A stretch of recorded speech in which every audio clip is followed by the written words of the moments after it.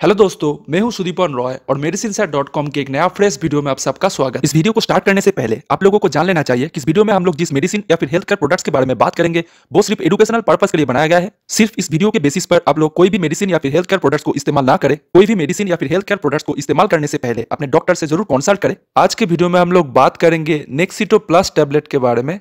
ये सान pharmaceutical industries limited का एक प्रोडक्ट है। तो चलिए, अब हम लोग जान लेते हैं इस मेडिसिन के कॉम्पोजिशन के बारे में। तो इस मेडिसिन में रहता है clonazepam 0.5 mg and escitalopram 5 mg तो चलिए, अब हम लोग जान लेते हैं इस मेडिसिन के यूजेस के बारे में। मतलब इस मेडिसिन को कौन से बीमारी को ट्रीटमेंट करने के लिए इस्तेमाल किया जाता है, उसके बारे में। इस मेडिसिन को एंजाइटी डिसऑर्डर मतलब कि चिंता विकार को ट्रीटमेंट करने के लिए डॉक्टर्स के द्वारा प्रेस्क्राइब किया जाता है। चिंता विकार का कुछ लक्षण, जैसे कि घबराहट, डर या फिर बेचैनी, किसी भी प्रॉब्लम के बारे में बार बार सोचते रहना और खुद को सोचने से नहीं रोक पाना, खुद को किसी काम में ध्यान केंद्रित करने में असमर्थता, विनाश या फिर खतरे की भावनाएँ सामान्य से अधिक तेज़ी से या फिर बहुत ही ज़्यादा तेज़ी से सांस लेना, जिसे हाइपर वेंटिलेशन कहा जाता है, दिल की घबराहट, जिसे हार्ट पैल्पिटेशन कहा जाता है, शांत और स्थिर ना रह पाना, नींद की समस्या आदि बहुत सारा लक्षण दिखाई देता है। इस मेडिसिन में रहता है एसिटालोप्राम। एसिटालोप्राम एक तरह का एंटी डिप्रेशन ड्रग है। एक ऐसा दवा जो कि मानसिक अवसाद को कम करने में मदद करता है। उसके साथ साथ इस मेडिसिन में रहता है क्लोनाजिपम।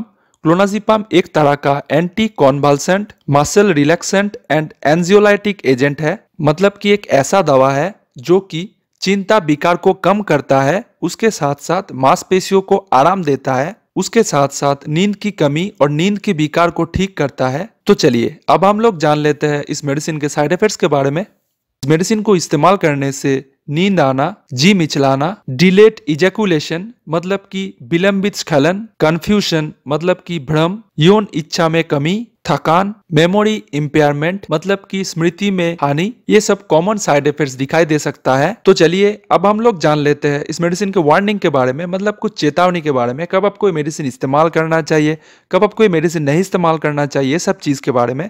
इस मेडिसिन को अल्कोहल पीने के साथ इस्तेमाल नहीं करना चाहिए। अगर आप प्रेग्नेंट है या फिर अपने बच्चों को दूध पिला रहे हैं, तब इस मेडिसिन को बहुत ज़्यादा चेतावनी के साथ इस्तेमाल करना चाहिए।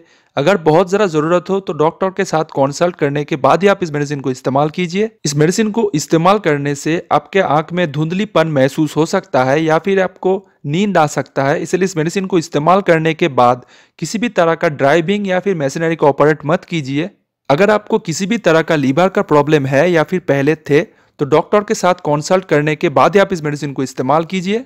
अगर आपको किसी भी तरह का किडनी का प्रॉब्लम है, तब भी इस मेडिसिन को बहुत ज़्यादा चेतावनी के साथ इस्तेमाल कीजिए। अपने डॉक्टर से कंसल्ट किए बिना इस मेडिसिन को इस्तेमाल मत कीजिए।